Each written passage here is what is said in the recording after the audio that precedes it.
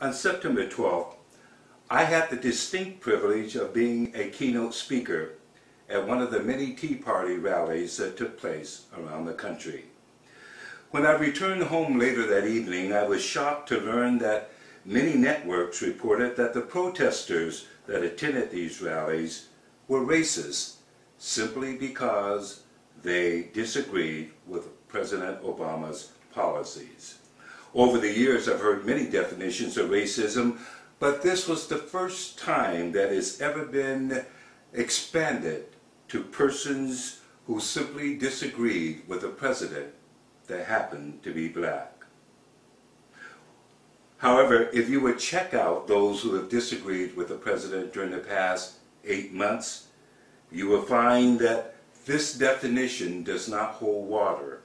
For instance, Early this year, when the Congressional Black Caucus and the historical black colleges protested because Obama cut their funding by $73 million, no one called the Congressional Black Caucus racist.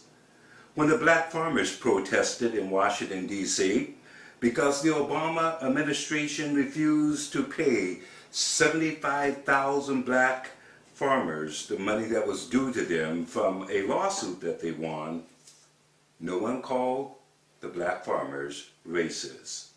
In May, when the black broadcasters protested because their request for bailout money was never granted by the Obama administration, no one called the black broadcasters or accused them of being racist when Maxine Waters and Congressman Charles Rangel supported Hillary Clinton instead of Barack Obama, no one called them racist. And when the black preachers voiced their opposition to Obama's policies on abortion and same-sex marriage, no one called the black preachers racist. But when the Tea Parties protested against Obama's spending practices and policies, Former Democratic President Jimmy Carter went on national television networks and called these individuals racist. Now, no one is saying that racists do not attend these rallies, but what they are saying is that these individuals are not invited, nor are they accepted, nor are they welcomed. When Dr. King first started his demonstrations both communists and black militants infiltrated his rallies. They weren't invited, they weren't welcome, and oftentimes they were hard to identify. Their covert participation made it very difficult for Dr. King to prove that he was not a member of the Communist Party. It's interesting to note that of all the networks reporting on these Tea Parties, very few of them have uh, ever hired a black to be their network anchor. And in all of their coverage, what they fail to report is that without the powerful backing and support of the Democratic Party, slavery and Jim Crow would have died in the wombs of those that conceived it. Let's set the record straight. It wasn't America that was racist. It was the powerful party of the Democrat Party, Jimmy Carter's party. History tells us that it was the Democrat Party that supported and kept the institution of slavery alive. Because of slavery and Jim Crow, millions of blacks died.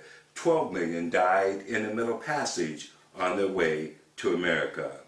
History also tells us that in 1857, it was the Democrats, the party of Jimmy Carter and Barack Obama, that supported the Dred Scott decision, a decision that classified blacks as property, but not as people.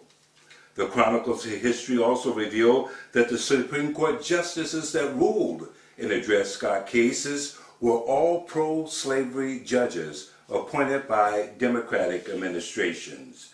Democrats supported the fugitive slave laws, black codes, and other repressive legislation that was designed to deny African Americans their rights. And while supporting these types of laws, the Democrats opposed the 13th Amendment to give blacks freedom, the 14th Amendment to grant black citizenship, and the 15th Amendment to grant blacks the right to vote.